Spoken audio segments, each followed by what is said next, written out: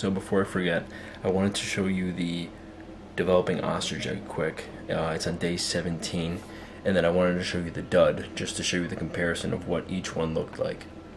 It's gonna be um, difficult to see, maybe a little blurry, because I had to make my own candler, and I'm using just some generic flashlight to actually see through the egg.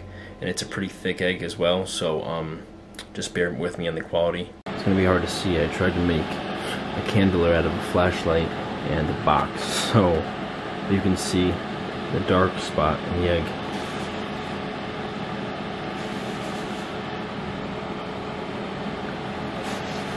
I'm not sure if it's living anymore. This makes me nervous right here. Sometimes that's bacteria growth, if, usually when I see it in chicken eggs, so I'll have to keep an eye on it.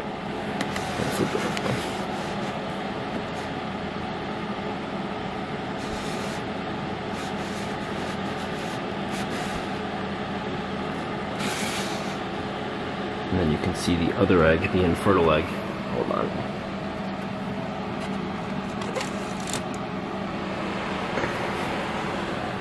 There's nothing there. So definitely a dud, and that one was definitely fertile. I'm hoping it still is. I guess we'll see in 22 days.